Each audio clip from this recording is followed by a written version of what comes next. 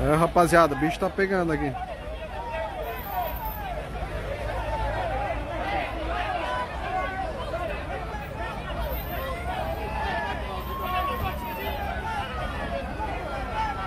Só aqui no porrinho.